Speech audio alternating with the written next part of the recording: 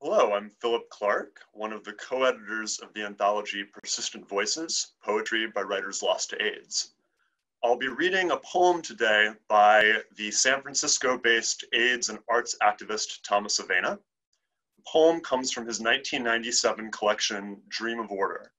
And uh, the title, To an, the Artist Dying Young, uh, is an allusion to the famous poem by A.E. Housman, To an Athlete Dying Young. So this is Thomas Avena to the artist dying young. Disease has its own motion, doesn't it?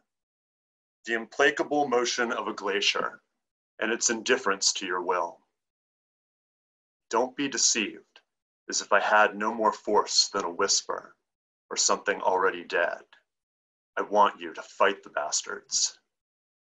Now black eyes push with fever from the devoured face. You are a skein of bones unraveling, vapor and lymph, light as champagne.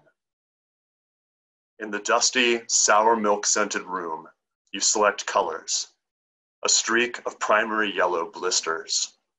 Daub in gray, in black. Color becomes unbearable. It is the slowest dance you didn't choose your partner with his gray hood or his sardonic joker's face, yet gracefully he draws you. And when you stumble, he comforts you with an iron grip. He is not the suave lady dressed in black who exits through a mirror.